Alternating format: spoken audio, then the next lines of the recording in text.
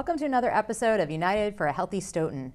Today on our show, we're going to be talking about a new program that we piloted this year at the Dawe School um, for fifth graders, and it's about the transition from fifth grade to sixth grade. And so I have two wonderful guests with me today the two Mr. C's, uh, Mr. Colantonio from the O'Donnell Middle School and Mr. Cancellieri from the Dawe School. So, welcome, gentlemen, to the show. Thanks Thank for you. coming. Thanks for having us. Great. So um, today we're going to talk a little bit about this program that we were kind of excited to try out at the Dawe, and um, we'll explain to the viewers a little bit about what this was about and and um, where it came from. So let's talk a little bit about first why is the transition from fifth grade to sixth grade kind of a big deal? Why is that an important time in a child's life? Um, from being a former fifth grade teacher and then working with sixth grade prior to that, I feel um, as though academic responsibilities and kind of a social awareness, there's uh, the expectations when you get to sixth grade, there's a big leap Yep. um, in terms of independence and kind of figuring things out for yourself. Um, so I think that transition, the expectations, they, they really rise quite a bit. Yeah. And, you know, when students leave um, what has become the very comfortable elementary school um, environment for them um, and they transition up to um, the big bad middle school, um, it's just a larger building um, and um, there's a lot more students. Um, they have uh, seven teachers a day. seven sets of expectations. Uh, we do have teams, but um, it's it's um, not only an academic jump for them, and it is an academic jump, but it's also a big social jump for them, um, and just logistically, uh, environmentally, it's a big jump for them. They it's a bigger building.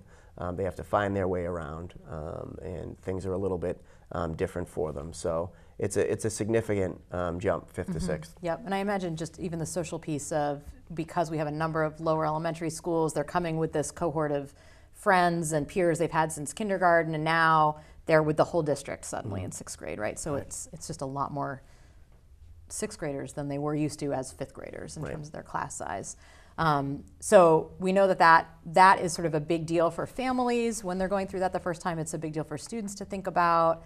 Um, we know too transitions are can be challenging for students. So from a prevention perspective, doing having a transition of any sort in a kid's life we know can be kind of a risky period mostly because they are trying to figure out what are the expectations in this new place like what you know what do they think they know about middle school what do they believe um, what are they trying to sort of live up to that may be the truth or it might be something that is not the truth um, that they that they have these expectations that are kind of you know that the middle school has seven stories and a pool or you know Yeah. it could be something as simple as that Right. um, so let's talk about how this program kind of came to be in the first place. Um, so maybe we should start with you, Mr. Cancellieri, about kind of what we'd been doing together. So Oasis was doing some collaboration with the Dawe around medication safety, Right. right? So that's sort of where we started to have these conversations.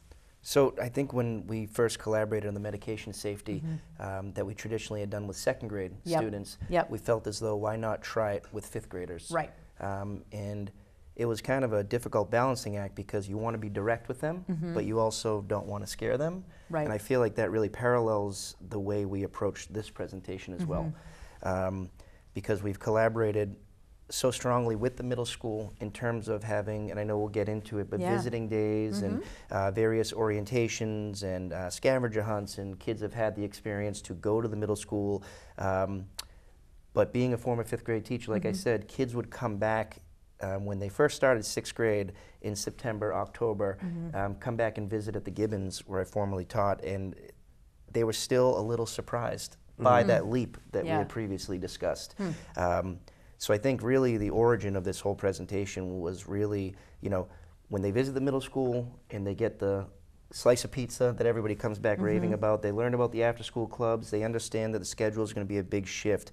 We were missing um, a little bit more of a direct approach to here are some of the real nitty gritty things you're going to face as a sixth grader. Yep. You know, there's some different topics that there wasn't enough time with the other visiting days. So why not do it in their elementary school, in their comfort zone, with their friends that they've been with for the last six years? Right. Um, but bring in new faces that they'll be seeing pretty quickly. Yeah. And Yeah, what about for- from your perspective? Yeah, when uh, at the time that I was invited to collaborate, um, there were a couple of um, reasons that I immediately was kind of on board. So the first was the group. Um, so um, Steph and Oasis um, and Rob, whatever you guys um, seem to be doing, um, at the heart of it is what's best for kids. Um, so I would probably say yes to almost any invite that you guys sent my way. That's good. Um, and then, you know, the school resource officers, um, uh, Stoughton Public Schools uh, nursing department, um, it just seemed um, like a good endeavor no matter what the topic. Yeah. But then, as Rob said, you know, we do do a lot of, and we have done for a number of years, a lot to assist um, in kind of the logistical transition from fifth to sixth. So they come to the school well before their first day, they always have. They do a visit in June. Students do a visit in June when they're still in fifth grade. There's a night that we host for parents. Um, students come to that night too. That's called the showcase night. And then we do an orientation for grade six. The orientation is right before school opens. It has a lot more to do with like getting your homeroom assignment, your locker assignment, your combination, and the scavenger hunt. Right. Um, but when um, Rob had floated that the idea um, behind, to, you know, to me, that the idea behind this particular um, transitional assembly would be more of what, if you could boil it down to what is the significant difference that covers academics, uh, social adjustment, emotional adjustment.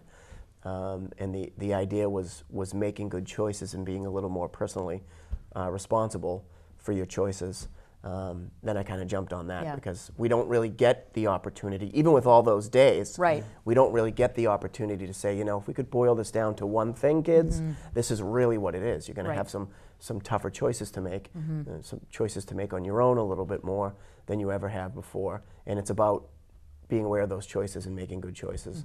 Um, so that was kind of a good opportunity too. Yep, yeah. And I think that was, um, you know, pulling that planning team together and having the the Oasis folks. So it was myself and Jess, and then we had like a little team from the Dawe. So it was you and Kathy Buschenfeld, who's your guidance counselor down there, which was great, a great addition.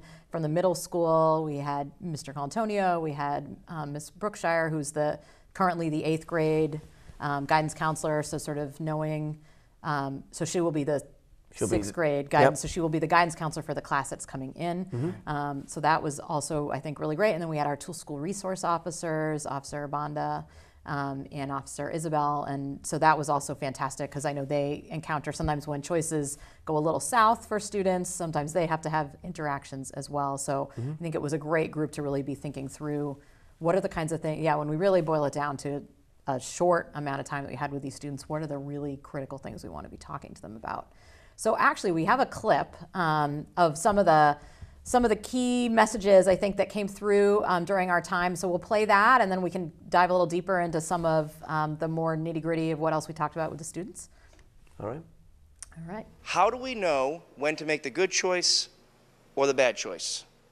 When we transition into middle school and there are more kids and there are more adults we're working with, and there are just things changing, you're going to come across different scenarios where it's going to be much more difficult to make the right choice than it is right now as a fifth grader. So, we're going to talk about some of those topics with you in the hopes that you will leave this cafeteria today better prepared for next year. Your choices, particularly as you become uh, a middle school student and then a high school student and beyond, they're going to start forming who you are as a person. So they are no longer sort of a random collection of impulses when you're a little kid growing up. They are now young adult choices that are going to start to make you who you are in this world. They're going to start to form other people's pin- opinions about you. At the middle school level, they're going to make your life either difficult or not so difficult, fun or not so fun. before. You're going to be in a room building with older kids that may have seen or done things that you might know about or that you might not know about, and you're going to be hearing and being exposed to a lot more stuff than in elementary school.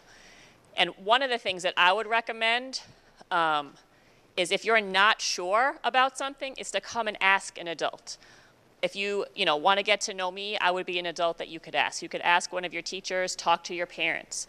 But peer pressure, you might have some of your very good friends that might, might start to make some choices that you question, that you don't agree with.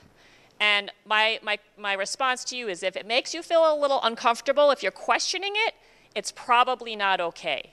And the harder thing to do is to back away and make a different choice and make the right choice. And some kids are worried about losing friendships. A friend will say, Well, if you're my friend, you'll do this. If you're my friend, you know, you'll let me copy your homework. If you're my friend, you'll cut class with me. If my friend, you know, we'll just like sneak into the bathroom during this period together. Well, in the back of your head, if you know what's wrong, it probably, if it feels wrong, it probably is wrong. And I, I would say back to them, well, if you're my friend, you wouldn't put me in this position to make this kind of a choice. So you really have to think about that kind of stuff too. K through five, you've had your training wheels on, right? In fifth grade, you're really ready for them to come off. You're like, get the, I'm ready, I'm ready to go, but you're not quite out of here. Next year, the training wheels come off. You're riding that bike on your own. You're in control of your own fate next year in your own day. So next year, if there's something going on with you, it's up to you to fix that. If you need to do better, it's up to you to do better. But if you're getting a C and you seem to be okay with it, okay, you're okay with getting a C. If that's not okay with you, it's going to be up to you to ask for help. Advocate for yourself. Keep yourself organized. Do all your work. Do all of your assignments. Try your best. I've never met a middle school kid who, who tried hard and didn't do well. They don't exist. There's no such thing. Everybody should have one person in their life that they consider a trusted adult. And it could be any adult that you trust. Doesn't have to be a family member. It could be your teacher. It could be, it could be a, um, I don't know, a neighbor. And that person is the person that you can tell, and they can do uh, what they need to do uh, adult-wise with it. Okay? If you see something that does not look right, you say something. Someone's going to get beat up, you say something. Someone is picking on someone else, do not stand by and let that happen. Why I assembled this team, which is like the Stoughton Public Schools Avengers, if you will. We were assembled today not to make you scared, but to make you more prepared. But I think every member of this team, Officer Isabel, Ms. Brookshire, Officer Bonda, Mr. Colantonio, they all really care about you. So you're leaving the Dawe School, but you're going to another place where these people really care about you. You need to use those resources. Great. Awesome. So that was a little sort of piece snippets of some of what we talked about with the students. And um, so I would love to talk a little bit more about what some of the actual topics were. I think we identified five areas that we, we sort of dove into with the students. So um, if we can remember what they are, let's, let's see if we can do it. We dove into um, drama and rumors Mm-hmm. Yep. was one topic, uh, peer pressure, Yep. bullying, um, Responsibility. Responsibility. responsibility, Yep. Independence, Yeah. kind of all tied into one. Uh, and then the notion of see something um, and say Mm-hmm. something. Yep. there was some stuff about social media, right? Social and media, yes. um, sort of how to manage maybe being exposed to additional apps and, you know, kids might have more freedom on their devices than they were used to and what that might be like, right? Um, and making good choices there as well and how sometimes a bad choice on the internet Sure. Right. will still end up in your principal's office, Yeah. right? Or the guidance counselor's office. or your guidance counselor's office, right? So, um, what do you think were some of the kind of other key points that maybe came up that that didn't get shown in this video? So we were with the students for probably close to an hour, right? Yep. Um, I, I, I just will say that I think that the whole presentation kind of really goes along with what the district is doing in general. Kind of, we've really brought to the attention of every staff member, every administrator, everybody we collaborate that social, emotional being of our students is a top priority. Right. Um, and we had an entire slide on you know academic independence, academic responsibility, um, but none of that matters if these kids are not in a place socially and emotionally that they can attend to their academics. Um, so I think a lot of these topics uh, they're important to discuss the drama versus rumors, especially the social media, because I think the dynamic of being in middle school at least is far different than when I was in middle school. It's uh, w- with the social media especially there's and i think that was a really important topic and to have officer isabel and officer bonda touch upon it uh, two police resource officers was crucial uh, because they see it I mean, they see the really negative side effects of inappropriately using these um, programs and platforms. Um, because we have this dynamic where we, I think there's a sense that these kids are more independent and mature and can use these things. But in the same notion, they're extremely emotionally fragile because they are just sixth graders. Right. So they hop onto these different platforms and they use them uh, as if they are adults, and yet the falling out proves otherwise. Yeah, and I think what was nice is um, from the middle school perspective with Miss Brookshire and myself and the school resource officers, uh, both of whom have worked um, at the middle school. It's nice to plant, you know, you're trying to plant some seeds Right. with the fifth graders um, that they'll take with them next year when they're transitioning to sixth grade. And one of the seeds that's um, worth planting is definitely speaking from the um, the mistakes that middle school kids have made, and so social media. Just to piggyback on what Rob said, that's a that's a perfect one because um, you know students are um, given access to, um, and they start using um, social media apps before they really understand you know what they're using, and um, so I think um, th- there was a moment in the assembly where I talked about how um, the apps are uh, companies. You know, they're it's, Right. they're trying to make money, and they're they're um, they can kind of fool their consumers, their customers, um, so they think make you think it's anonymous when it's really not. Um, so that's a great seed to plant because, and, and then sharing some of the experiences, Mrs. Brookshire, um, her her. Um, bit on this was very compelling because she that's what she does every day, all day. You know, students think that they're um, they're going to make some comments on certain apps, and no one's ever going to see those comments. And for the guidance counselor to say, "I see them all," um, that's a good seed to plant. Right. Um, and I don't think students are aware um, of how uh, predatory um, these companies can be with 10 year olds, 11 year olds, 12 year olds to Right. try to get them to use their app, um, how they can fool them and trick them, and the psychology behind it.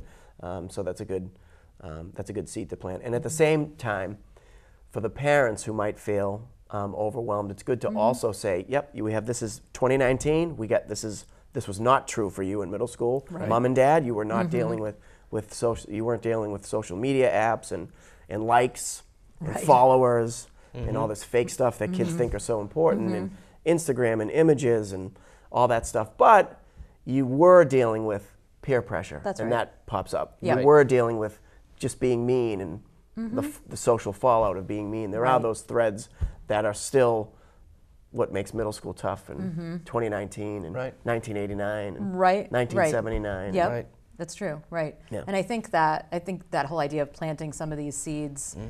it sort of also goes back to something that we heard Ms. Brookshire say in that first set of clips where it was sort of if it feels wrong, maybe it is wrong, or you should check that with a grown up. Right. And so even Same just thing sort of yeah, saying mm-hmm. these things to the students here might it might provide more opportunities where they go, wait a minute, I, I like there's an inkling of something I thought I, I remember hearing something when I was in that assembly. Now it doesn't feel so right.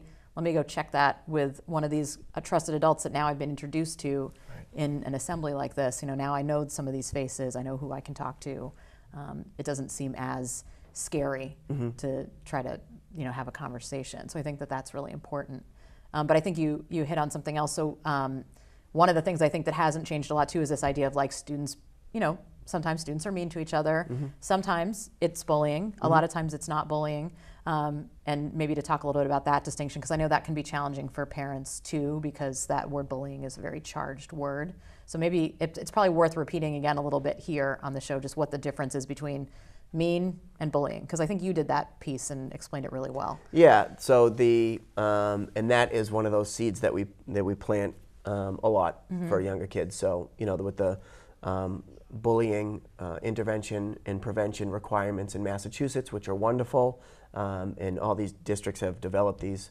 Um, plans they're mandated to develop these plans. It's it's been great. It's been a wonderful thing, and certainly um, it's helped to address um, true true bullying in Massachusetts. So that's a wonderful thing. It's also you know kind of become a word that is used an awful lot, um, and in a, in a way that I think is different than um, before all the legislation. I, I feel like bullying wasn't a, an overused word, but um, so making that distinction with students is important. And so at the assembly, um, just try to plant that seed nice and early. The difference between bullying and you know social cruelty. So Right. I find that kids will often describe sort of anything that doesn't go their way as bullying, Right. and they'll go from you know, mean to bully right away. So um, I try to use the example of, um, you know, if kids are being mean, um, they're not bullying, um, and um, they, they might they're being mean, and we want to address that meanness because meanness unchecked can turn into bullying. Um, but we try, I tried to kind of just talk about the definition of bullying in Massachusetts, which, which is it's targeted, um, it's intentionally meant to cause harm to the target, either physical um, or emotional harm. It's repeated, and that's the criteria that definitely is most often not met um, in my school uh, Right. with my age group. Um, I'm sure that's probably true across the board. Um, and so to kind of talk about those things, but also to identify those single incidents of social cruelty as the behavior that might lead to bullying if you don't kind of examine it, reflect on it, change it, fix it, um, and all that stuff. So um, that was, um, I think, one of the good points made uh, for the assembly too. Yeah. And I think what you brought up too was, uh, you know, having this assembly, not having it put on by just their building principal and Mrs. Mm-hmm. Right. Bushenfeld. The collabor- collaboration piece was huge because I Mm-hmm. mean, companies will come out and do. You can pay for a company to come out and do an assembly on bullying. You can come to do an assembly on the transition to middle school. They, Mm-hmm. Right. There are companies that do this. But what would I thought was critical is that they will see Mr. Right. Mm-hmm. Colantonio come September. They'll see Ms. Brookshire Yep. come September. They'll Mm-hmm. see Officer Isabel, Officer Bonda. Mm-hmm. Um, and if even one kid leaves the assembly and decides to not make a bad decision, you know, Mm-hmm. Right. because uh, reflecting upon this presentation, then everything was worth it. Right. Um, but I think hearing it from the people they'll be working with, that, that is a significant difference from a, more organic approach to Yep. doing it. Yeah, I, I think that is really great, and for students to be able to identify those faces. These are the caring adults in this new building that I will be entering. Some of the caring adults, you know, and that they talked about other adults in the building too who will be there for you, and so I think that that's huge. Why don't we? I know we have a quick clip of some students um, talking about their experience with this um, assembly, so why don't we roll that? People know what you're like typing on social media and on Xbox and things like that. So, like, you shouldn't be doing anything inappropriate or or something that will get you in trouble. Well, kids should know to make good choices because if they make any bad choices, then they know that they'll be in trouble because there's always consequences with what you do. Sometimes there could be good consequences or there could be like really bad ones. Great. So that was from two of our students who will now be at the middle school come the fall, which is terrific. So in our last few minutes, let's talk a little bit about how this program fits into sort of we alluded, we alluded to this a little bit earlier the um, all of the other work that's happening with the transition for fifth to sixth grade and sort of where we see this going in the future because it was a pilot this year it only happened at the Dawe um, and sort of what our hopes are for this program you know next year and beyond. I, I would love to see this collaboration, you know, go into the other elementary schools because what I found after was that the students that left the cafeteria did have the perfect balance of being a little scared and even more prepared. Um, you know, I think it, it again. Teaching fifth grade was everyday conversation was when you get to sixth grade, you're going to have a whole different grading system. You know, you're if you don't turn in your homework, it, it's a humongous part of your final grade. And even if you say that every day, Mm-hmm. i- you know, to the one assembly, I think really brought it to the forefront of all of these kids' minds, and I Mm-hmm. think that would benefit fifth graders from across the entire district Yep. because they certainly talked about it. Mm-hmm. They certainly, you know, with their teachers when they came back up to the classroom. And you did, there was a letter that went home to parents too. So part Yep. of this, the intention was, you know, here's another opportunity. These are the kinds of things we're going to be talking about with your child. Please, you know, take this as an opportunity to have these conversations in your own house. Yep, parents got a Mm-hmm. letter uh, with the ability to opt out of the presentation if they wanted to, but I think um, with the you know diversity um, across the entire district, some of these topics would not be touched upon otherwise um, Mm-hmm. Right. if we weren't the ones doing it. And I think a lot of the parents' feedback I received Mm-hmm. was uh, highly appreciative of that, of us taking on the role beyond teaching math, English, reading, Mm-hmm. writing. Uh, we went above that and kind of did this preparation piece Yep. which um, you know, a lot of positive feedback is what I received at the elementary school. Awesome. Yeah, and from my perspective, I think it would it was great to do it at the Dawe, Mm-hmm. um, and it would be nice to do it with um, fifth graders across the district. Yep. Um, and to somehow add the choices presentation um, into the formal transition work that we do from fifth to sixth grade. Mm-hmm. Yep. Um, so there's lots of opportunities to do that. Um, you know, there's the June visits, but I liked coming down to the Yeah, um, having elementary school. I have to say that you know when kids come up to um, the middle school in fifth grade, it's great, um, but it's really a lot more about like like seeing the building and and walking through the lunch line and um, I suppose we could sort of add it there, but there I felt like there was something about coming to the Dawe um, and doing the presentation there um, that might have made a little bit more of an impact, uh, maybe than adding it to the day Right. where they're also finding their way around, Right. doing the lunch line and all that stuff. which I imagine is uh, itself also just overwhelming anyway. As a student who's trying to, you're trying to learn, you have to know all those logistical pieces too. So to try to then have this sort of social emotional piece, maybe it does work better. It, se- it did seem to work really well that day at the Dawe. So yeah, I also would love to see us be able to replicate this and. Um, and I think that the other elementary school principals are interested in this. I know yeah. from early conversations when we talked about the fact that we were going to do this in your school, people seemed excited and sort of like, okay, we can't wait to hear what happens, you Right. know. Um, and if it's great, and we, you know, we imagine that it would be, and I think it was, that Yep. this is something we could continue to sort of roll out across the district and offer to all of our fifth graders. And we'll see how it impacts that group of sixth graders, I guess, Mm-hmm. come the fall. If they, if there's anything different about them, it'll be sort of interesting to see. Absolutely. You'll know that they were these were your Dawe kids, right? Yeah. Right. And they came in extra prepared. Yeah. So, any last thoughts in our final like half a minute here on the show that you all want to add about the program or anything else you want to say to our viewers at home? Yeah, I, uh, one of the things that I um, say, I often say at the, I, I think I said it at the assembly at the Dawe, and I say it when we do our showcase night and our, um, our other transition uh, meetings for fifth graders, is uh, when I went to middle school, um, my first day of sixth grade was um, you just showed up to sixth grade and you were not prepared and you you know your homeroom teacher would yell your last name. You would find that adult in the chaotic cafeteria. Um, so i think this work that we do for the transition is a lot different than i remember it when i was in middle school um, and it's really great um, and i think that um, in stoughton kids are um, really prepped to go to sixth grade before their first day of sixth grade um, and so if this um, added presentation kind of helps with that. Uh, that's fantastic. Excellent. Well, thank you both so much for coming on the show, Thank you. and um, have a having us. great summer. You too. All right. Thanks.